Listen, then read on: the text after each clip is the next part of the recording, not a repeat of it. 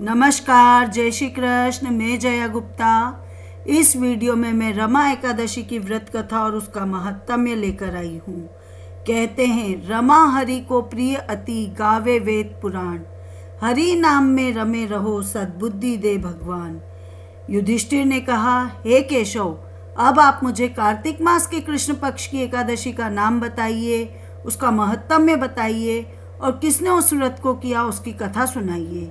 तब भगवान श्री कृष्ण जी बोले, हे राजन, कार्तिक मास के कृष्ण पक्ष की एकादशी को रमा एकादशी कहते हैं। इसके व्रत को करने से समस्त पाप नष्ट हो जाते हैं। इसकी मैं कथा सुनाता हूँ, आप ध्यान पूर्वक सुनिए। प्राचीन समय की बातें, एक राजा था, उसका नाम मुचकंद था। वो बहुत ही धर्म कर्म के साथ अपना राजकार्य करता था, इसलिए वो धर्म राज्य करता था। उसकी मित्रता भी इंद्र, कुबेर, वरुण, विभीषण इत्यादि लोगों से थी। वह बहुत ही सत्यप्रिय था और सत्य बोलने वाला था और भगवान विष्णु का गहरा भक्त था। कुछ समय बाद उसके एक लड़की पैदा होती है, जिसका नाम वो चंद्रभागा रखता है। चंद्रभागा चंद्रमा की सोलह कलाओं के समान बड़ी हो जाती है जब वह शादी के योग्य होती है तो राजा उसका विवाह अपने ही समकक्ष राजा राजा चंद्रसेन के पुत्र शोभन के साथ कर देता हैगा। अब एक बार की बात होती है, चंद्रभागा अपने मायके में आई होती है उसके साथ उसका पति शोभन भी आया होता हैगा। अब एकादशी का व्रत आने वाला होता हैगा। अब चंद्रभागा ने एकादशी का दिन जैसे जैसे समीप आता है तो वो जान करके विचार करती है कि मेरा पति तो अत्यंत दुर्बल है। ये, वो तो एकादशी का व्रत कर नहीं पाएगा। अब वो एकादशी का व्रत नहीं करेंगे तो मैं भी ऐसा व्रत नहीं कर सकती। परंतु मेरे पिता के राज्य में तो उनकी बहुत कठोर आज्ञा हैगी कि सभी को एकादशी का व्रत करना होता हैगा। जैसे ही एकादशी का दिन नज़दीक आता है तो पूरे राज्य में डिंडोरा पिटवाया जाता हैगा। अब जिसको सुन के शोभन जो था, वो अपनी पत्नी से कहता हैगा कि, हे प्रिय, अब तुम ही मुझे कुछ ऐसा उपाय बताओ, क्योंकि यदि मैं व्रत करूँगा तो मैं तो अवश्य मर जाऊँगा। तब चंद्रभागा कहती है कि, हे प्राणनाथ मेरे पिता के राज्य में एकादशी में कोई भी भोजन नहीं करता हैगा यहाँ तक कि हाथी, घोड़े, ऊट, भैंस, गाय, बैल, कोई भी पशु अन्न भी ग्रहण नहीं करता हैगा यानी किसी के घर खाना ही नहीं बनता हैगा तो फिर आप बताइए कि आप किस प्रकार से यहाँ पे अन्न ग्रहण कर सकेंगे? यदि आपको भोजन करना है तो आप इस नगर को छोड़ के किसी अन्य जगह पे चले जाओ। यदि आप यहाँ रहोगे तो आपको व्रत अवश्य करना पड़ेगा। तो शोभन उत्तर देते हुए कहता है कि प्रिय, तुम्हारा कहना बिल्कुल सही है। अब मैं इसको अवश्य करूँगा। जो भाग्य में लिखा है वो होगा, पर मैं एकादशी का व्रत अब अवश्य करूँगा। ये सोच के शोभन ने एकादशी का व्रत किया। अब वो भूख प्यास से बहुत पीड़ित होने लगा। जब सूर्यास्त हुआ और जागरण की बारी आई, रात्रि जागरण की बारी आई, तब तक तो शोभन की स्थिति खराब होने लग गई। उसको बहुत ही दुखदायी प्रतीत होने लग गया भूखे रहना और उसकी स्थिति खराब होने लगी। अब परिणाम यह हुआ कि दूसरे दिन सुबह होने से पहले ही शोभन की मृत्यु हो गई। तो राजा ने उसके शरीर का दाह संस्कार करा दिया। अब चंद्रभागा अपने पिता के घर ही रहने लगी।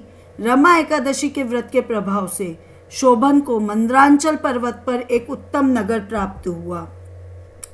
उसकी अटारी में सुंदर रत्न और स्वर्ण के खंभे लगे हुए थे और वह उस स्थान पर स्वर्ण सिंहासन पर विराजमान हो रहा था यानी बैठा हुआ था और उसके सम्मुख अप्सराएँ नृत्य कर रही थी और गंधर्व गान कर रहे थे और बजा रहे थे। ऐसा लग रहा था कि जैसे दूसरा इंद्रलोक है जहाँ पर एक और इंद्रलोक, ए, इंद्र भगवान बैठे, इंद्रदेव बैठे हुए हैं शोभन इस तरह से प्रतीत हो रहा था कि जैसे इंद्रदेव की सभा में इंद्रदेव बैठे हुए हैं अब एक समय की बात है, राजा मुचकंद के नगर का एक श्रेष्ठ ब्राह्मण, सोम शर्मा तीर्थ यात्रा को गया। अब घूमता फिरता वो उसी स्थान पे पहुँच गया।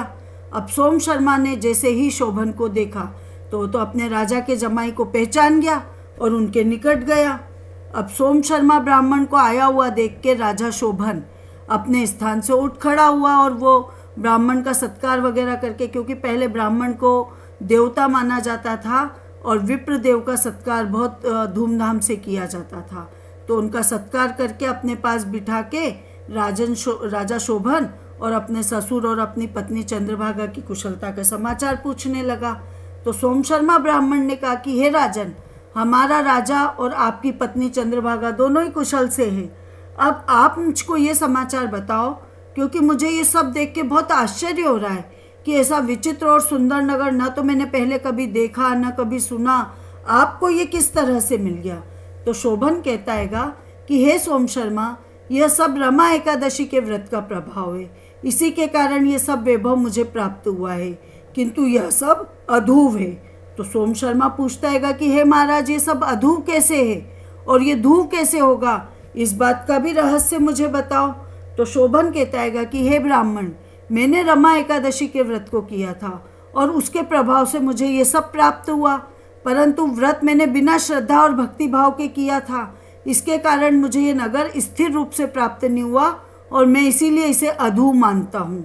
यदि तुम इस वृत्तांत को चंद्रभागा से जाके कहोगे तो वह इसे धू बना देगी। तो सोम शर्मा ब्राह्मण अपने नगर में आता है और आके और वो चंद्रभागा के पास जाता है और सारा वृत्तांत उसको सुनाता हैगा। तो ये सारी बातें सुन के राजपुत्री चंद्रभागा जो होती है, वो उनसे कहती सोम शर्मा से कि, हे ब्राह्मण, क्या आप यह वृत्तांत आँखों देखा सत्य सुना रहे? या कोई आपने स्वप्न देख रखा है जिसको आप मुझे बता रहे हैं? तो सोम शर्मा को ये समझते देर नहीं लग समझाते हुए कहते हैं वो कि, हे राज्य कन्या जो भी मैं आपको बता रहा हूँ, ये सब मैंने आँखों देखा है। ये सारा वृत्तांत मैंने देखा है और प्रत्यक्ष में देखा है। इसमें कोई भी किंचित मात्र भी झूठ नहीं है। परंतु वह नगर अधूव है। तुम कोई भी ऐसा उपाय करो जिससे कि वो नगर धूव बन जाए।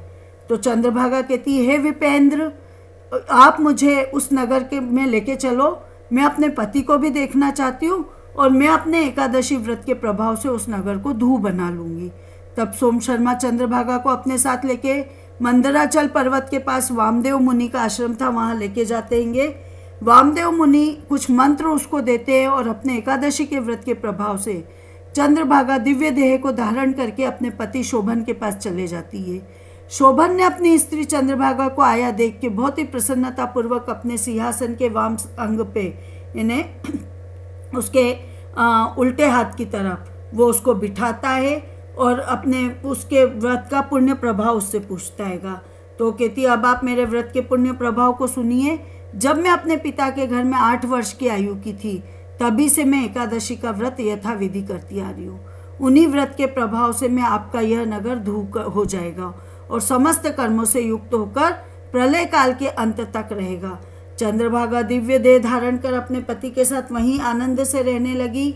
हे धर्मराज, यह मैंने तुमसे रमा एकादशी का महत्म्य कहा, जो मनुष्य इस रमा एकादशी के व्रत को करता है।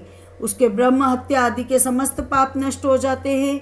इति श्री रमा एकादशी व्रत कथा समाप्त। इस एकादशी पर केले का सागार लिया जाता है। आपको मेरा ये वीडियो अच्छा लगा हो तो इसे लाइक और शेयर कीजिए। अभी तक यदि आपने मेरे चैनल को सब्सक्राइब नहीं किया तो कृपया मेरे चैनल को सब्सक्राइब कीजिए। बेल आइकन को हिट कीजिए ताकि मेरे नए वीडियोस के नोटिफिकेशन आपको तुरंत प्राप्त हो। हिंदू धर्म, संस्कृति, तीज त्यौहार, व्रत कथा रीति रिवाज इत्यादि जानने के लिए मेरे साथ बने रहिए। जय श्री कृष्ण।